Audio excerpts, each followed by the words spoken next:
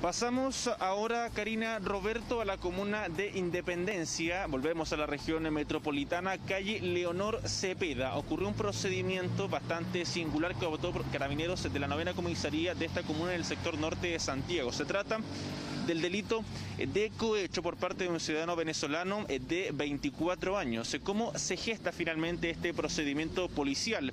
Esta persona había sido detenida porque cometió varias infracciones en la comuna de Independencia. En primera instancia se saltó una luz roja a bordo de un vehículo particular, tenía un billete falso de 20 mil pesos y también tenía droga en bolsas. En este caso tenía el marihuana a bordo de una mochila al interior justamente de este vehículo eh, particular. Cuando es detenido por personal policial ocurre este nuevo delito ahora de cohecho, porque él, y de hecho hay un video, Karina eh, Roberto, de cómo esta persona intenta sobornar a personal policial. Él habla, interactúa con personal policial, le dice que quiere hacer una transferencia para poder evitar ser arrestado, para que finalmente se lo lleven eh, de ese lugar. Ante estas palabras, Carabinero también lo detiene y le formaliza el delito en este caso, eh, verbalmente, en esta situación, eh, de cohecho.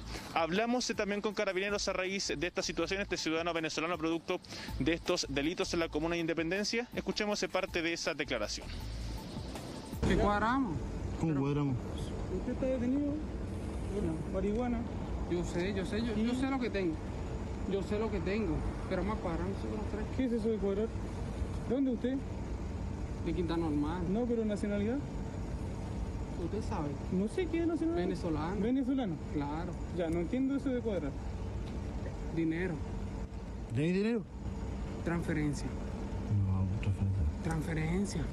¿Cuánto me... Usted me está, me está ofreciendo dinero? Vamos a la calle, ahí estamos aquí. Ya. ¿Cuánto? Pero ya, quítame la esposa porque me está doliendo, jefe.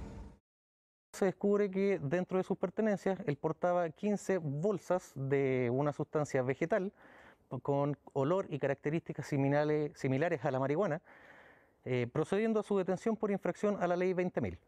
Y al ser, al, al ser trasladado a la unidad, esta persona manifiesta su intención de querer dar dinero a los funcionarios policiales, eh, siendo notificado también de su detención por el delito de cohecho.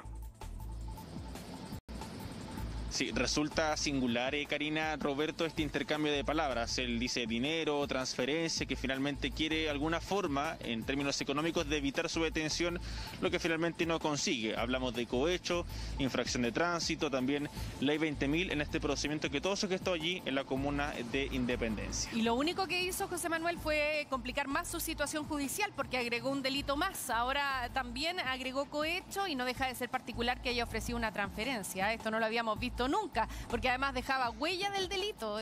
Bien insólita la forma en que estaba ofreciendo entonces este dinero a los carabineros que lo controlaron. Muchas gracias José Manuel por este